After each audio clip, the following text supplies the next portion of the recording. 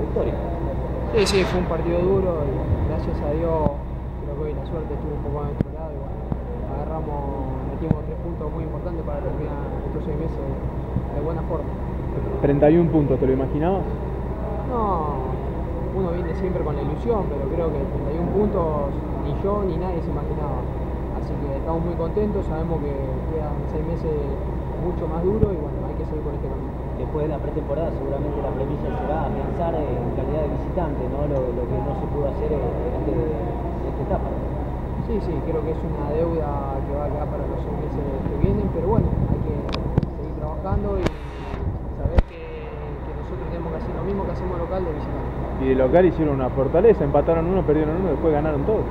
Sí, es muy importante ganar, eh, mantenerse invicto de, de local, perdimos uno, pero creo que esa fortaleza tenemos que seguir sumando con algún partidito de, de visitante. Recién lo decía el técnico, se siente muy a gusto con este plantel, que le ha dado buenos resultados y que él considera que es el mejor momento del de gimnasia.